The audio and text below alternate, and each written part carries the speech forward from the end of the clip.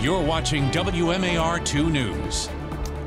I'm Randall Newsom here with your WMAR 2 News update. Today marks eight years since the arrest of Freddie Gray. Gray died a week later of a spinal cord injury while in police custody back in 2015. His death sparked weeks of protests and riots around the city. Last year, more than 60 businesses that were damaged during that time were granted uh, $3.5 million from the city of Baltimore. Officials hope the funds would help those businesses and pour back into their communities.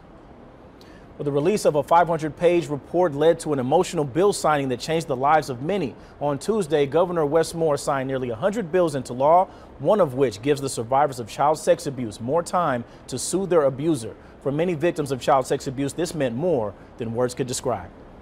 I was in a restaurant having lunch after the bill had, after the report had come out, getting ready to go over to uh, a law office, and uh, the guy I was having lunch with, who was another survivor, just showed me the phone and it said that we passed. And we just both broke down.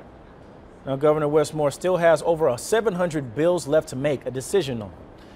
And now let's take a look at our forecast with meteorologist Stevie Daniels. Good morning, everyone. We have very low relative humidity values, not a lot of moisture in the atmosphere, gusty winds, and dry conditions. So we do have that threat for rapid wildfire spread today, which is the reason why we are under a fire weather watch. It actually begins at noon through 8 o'clock. Outdoor burning very discouraged. Just hold off on lighting up that bonfire until tomorrow when winds will start to relax a little bit more. Our Pack the Park event begins at 8 o'clock this morning and lasts throughout 6 o'clock. Temperatures will be well into the upper 70s, lower 80s, and then cooling things down with showers and storms this weekend. Randall?